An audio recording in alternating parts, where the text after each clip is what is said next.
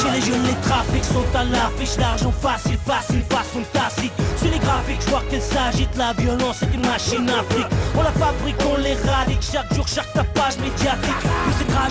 La panique, surtout quand elle est que, gratuite. On se tape puis on sort les couteaux, on fume plus, on slip de la coco. On boit plus, on finira à l'hosto, on baisse plus sans faire comme Rocco. Tout est fait dans l'exerce, croire qu'on s'exerce exprès de la cour de récré. On est accro à l'extrême, on voit l'intellect ou la CC. Elle est partout, elle est verbale, familiale, conjugale et surtout parentale. Peu, peu partout, elle est scolaire, policière, pénale, glaciale et animale. Peu, peu partout, elle est surtout mentale. Certains perdent les pédales pour les que l'État son constat social. La réponse est la répression, pas de réflexion sur les causes de la rébellion. C'était la régression. Avoir l'économie n'est pas la seule en récession. Les mères se surmènent, les pères ne subviennent plus aux besoins de la famille et se surprennent. À cogner donc quand la violence est urbaine, la détresse est humaine. Baiser comme on m'a baisé, hey. blessé comme on m'a blessé, testé comme on m'a testé, hey. brisé comme on m'a brisé, pressé comme on m'a pressé, hey. j'aimerais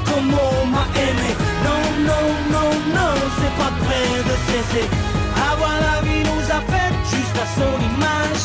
La vie se lit sur les traits de tous les visages.